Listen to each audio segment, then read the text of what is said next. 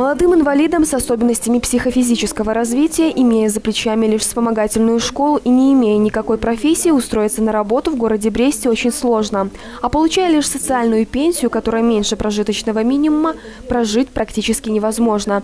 Живут за счет родителей и близких. Социальная и трудовая реабилитация – вот главные аспекты работы Центра «Особенная жизнь». Организаторы обучают ребят и дают им возможность доработать трудовой стаж, чтобы в дальнейшем получать трудовую пенсию – сказать проще, ребята приобретают профессию и трудовой стаж. Что касается своего ребенка, я прошла с ним путь, когда я его самостоятельно обучала своей профессии, и он сейчас благополучно работает на обычном предприятии хотя имеет э, ну, достаточно сложные диагнозы, но благополучно работает и имеет достаточно большой трудовой стаж. Каждая открытка или дерево из бисера – это кропотливый труд. Людям с особенностями психофизического развития выработать скорость гораздо труднее, чем здоровому человеку, но они стараются. Приходят на работу раньше положенного времени и уходят только в конце рабочего дня.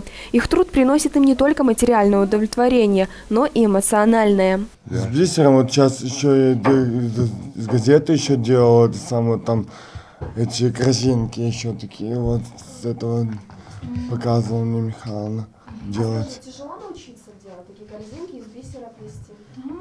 Не, с бумаги, с бумаги делал самое.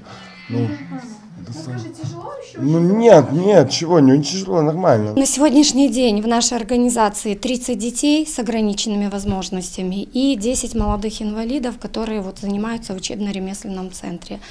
Для чего мы создавали? Для того, чтобы создать рабочие места для ребят с умственными ограничениями.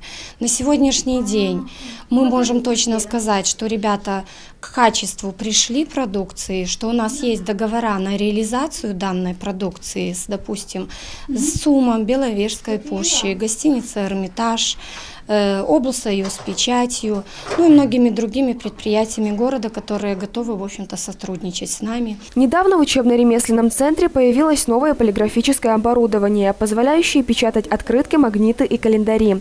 Наличие такого устройства крайне важно, ведь изготовлению именно этой продукции легче обучить инвалидов. Мы, в принципе, начинали делать с деревьев, потом на розы перешли.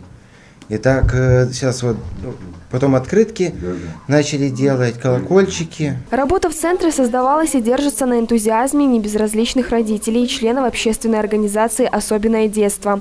У них очень много планов на будущее, и они готовы бороться за их реализацию.